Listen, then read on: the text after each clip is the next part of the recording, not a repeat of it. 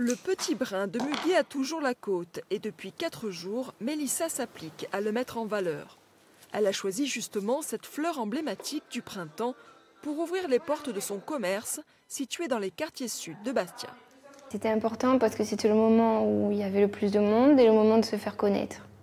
En plaçant des bancs au bord de la route, en face des commerces, de la boulangerie, du tabac, ça permettait aux gens qui sortaient d'autres commerces de pouvoir nous voir au bord de la route et de venir découvrir le magasin à l'intérieur. Et dehors, les stands de la jeune fleuriste font de l'œil aux passants et ça marche. Les plantes de muguet, il faut les offrir parce que ça porte bonheur. Ah, même qu'un brin, ça fait plaisir quand même. Hein. Ces petites clochettes blanches représentent 10% du chiffre d'affaires des fleuristes sur une année.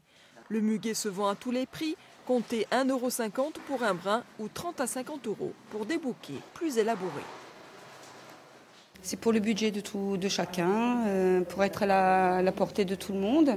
Et puis nous aussi, ça, nous fait plaisir parce qu'il y a un large choix et on ne fait pas toujours la même chose.